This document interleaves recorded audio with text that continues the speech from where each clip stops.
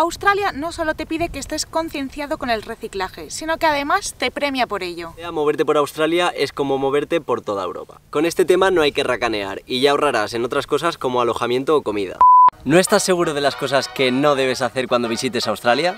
¿Quieres ahorrarte algún disgusto y sobre todo dinero en el país de los canguros? ¿Es Australia un país seguro para visitar? Pues quédate hasta el final del vídeo para conocer estos errores que debes evitar en tu viaje a Australia para que luego digas que no te lo hemos advertido. Si viajas a Australia por primera vez, puede ser que te sientas un poco asustado o aprensivo.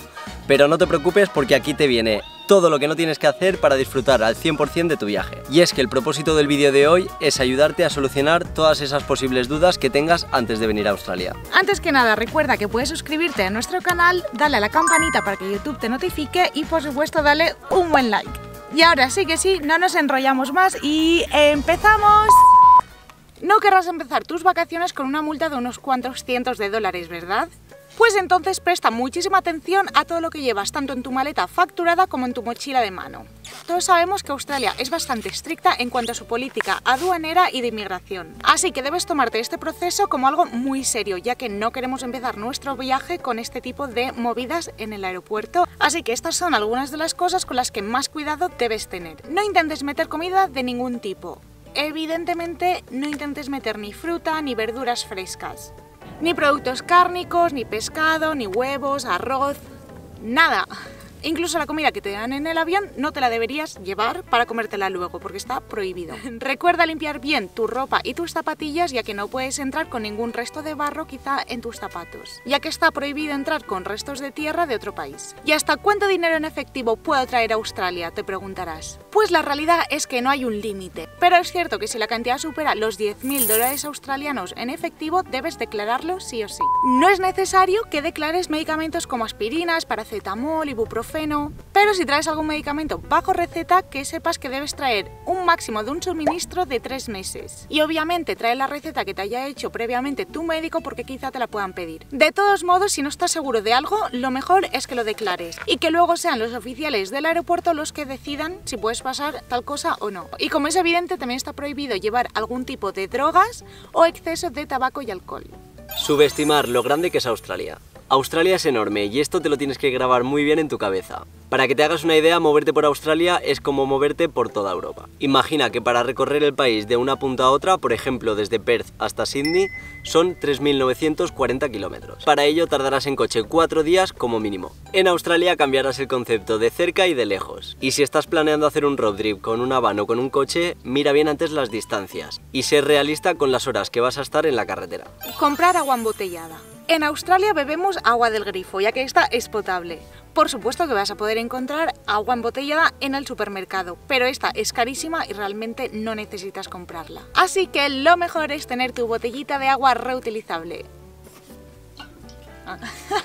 ¡Moscas! Las moscas, chicos, las moscas se reproducen por eh, segundos. Y que sepas que en todos los bares, en los restaurantes, en gimnasios, en definitiva, en todos los locales te van a ofrecer agua del grifo gratuitamente y esta se le conoce como tap Así que de esta manera puedes ahorrarte unos dolis en tu viaje y también pues ayudamos al planeta un poquito no tener un seguro médico privado. No existe ninguna ley que prohíba la entrada a alguien que no tenga un seguro médico privado. De hecho, en el aeropuerto nadie va a mirar si tú tienes un seguro médico privado o no. Pero sería una locura e inconsciencia que no tuvieras tu seguro médico en tus vacaciones. Con este tema no hay que racanear y ya ahorrarás en otras cosas como alojamiento o comida. Y es que con la salud no se juega. Y más vale prevenir que curar vas a pagar muchísimo menos por el seguro de viaje que el gasto que tendrías que afrontar si hubiera algún percance. Ahora sí, si tú vienes a Australia a vivir, el hecho de tener un seguro médico privado es obligatorio. De hecho, es un requisito a la hora de pedir tu visa. Aquí estamos en nuestro spot preferido para ver el sunset, que está justo detrás de donde tenemos las dungas o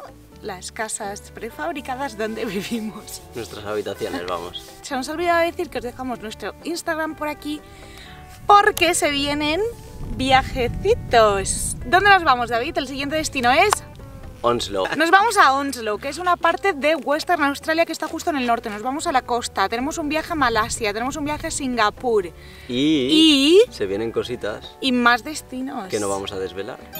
Respetar lugares aborígenes. Australia tiene una fascinante e increíble cultura aborigen. De hecho, es la cultura viviente más antigua del mundo. Y en Australia podemos encontrar muchos lugares sagrados e importantes de estas primeras naciones. Y que están abiertos al público, como por ejemplo Uluru o Ayers Rock. Este es uno de los lugares más visitados aquí en Australia. Así que uno de los ejemplos de lo que no debes hacer es escalar Uluru. Solía haber un hiking en esta roca tan importante, pero lo cerraron permanentemente en octubre del 2019. Anteriormente, y a pesar de que había señales allí diciendo que no treparan, que no escalaran, pues estas eran simplemente ignoradas. Por lo tanto, estas personas estaban siendo tremendamente irrespetuosas con los ancestros y con las personas originarias de esta tierra. No tienen dos dis de front.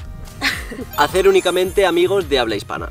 Y esto es un error si solo te relacionas con gente que habla tu mismo idioma, ya sea por miedo o por vergüenza a hablar inglés. Si has venido a Australia a aprender inglés, relacionate con gente de otras nacionalidades. Aprenderás mucho sobre sus culturas y obviamente en un par de meses estarás hablando inglés por los codos. Hola chicos, aquí Nadia de la edición llena de moscas porque hoy están muy pesaditas. Nada, deciros que hemos dividido este vídeo al final en dos partes para que no se hiciera tan largo. Así que nada, tendréis la segunda parte, la continuación de este vídeo, la semana que viene. Eh, no os lo perdáis tampoco, ¿vale? No tires basura en la calle.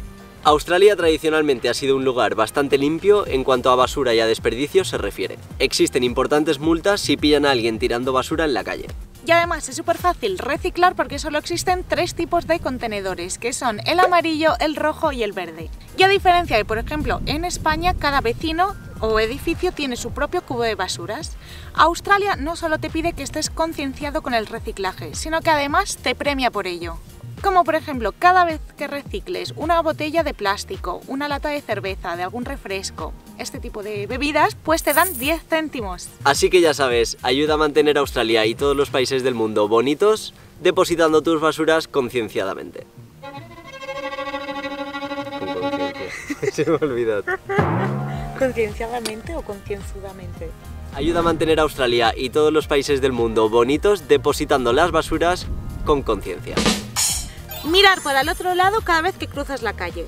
Por si todavía no lo sabíais amigos, en Australia se conduce por la izquierda. Y es un error súper típico y aunque lleves mucho tiempo en Australia, no te fíes. O sea, yo y David, uy, el burro delante no, nunca nos fiamos, nunca sabemos bien para qué lado mirar, así que miramos a los dos. Puede ser que algún día no mires hacia el lado que toca y te venga un coche por el otro lado, así que mucho cuidado con esto. Ya hasta aquí el vídeo de hoy, esperamos de corazón que os haya gustado mucho y os haya servido de ayuda para cuando vengáis. Comparte este vídeo con esa persona que sabes que tiene pensado venir a Australia y dale me gusta, suscríbete y todas esas cosas que tú ya sabes. Preparar tu viaje o proceso migratorio es algo muy emocionante, así que estos consejos son para evitar que cometas algunos errores de principiante. Nosotros hemos estado en tu situación, así que si podemos ayudar a alguien a que su sueño en este país sea un poquito más fácil, estaremos más que encantados. Durante este año que estamos viviendo en Australia, realmente nos hemos podido dar cuenta de estos errores que cometemos pues sin darnos cuenta. Pero para eso estamos, para aprender de nuestros errores.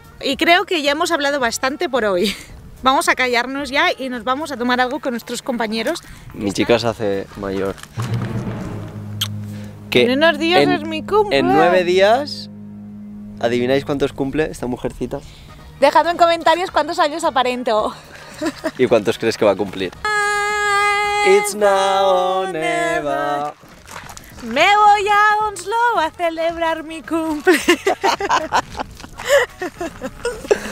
que se entere todo el barrio. Y dicho todo esto, nos vemos la semana que viene. ¡Chao! Un beso muy grande. ¡Chao! Pues quédate hasta el final para conocer estos errores que debes visitar en tu viaje. Que debes visitar, No tener un seguro médico privado. ¿Tienes que contar la O? Privado. Se está volviendo loca. no tener un seguro médico privado. Open Dio. Como por ejemplo, cada vez que recicles una lata de cerveza, de algún refresco, de alguna botella de agua, pues te dan 10 céntimos, 10 céntimos. Joder. Vale, ¿cómo por ejemplo? Aquí abro melón y hago una llamada a todos y a todas las logopedas del mundo de habla hispana para que me ayuden a vocalizar. Es bastante lógico, ¿no? Pues todavía hay gente que no lo ha pillado.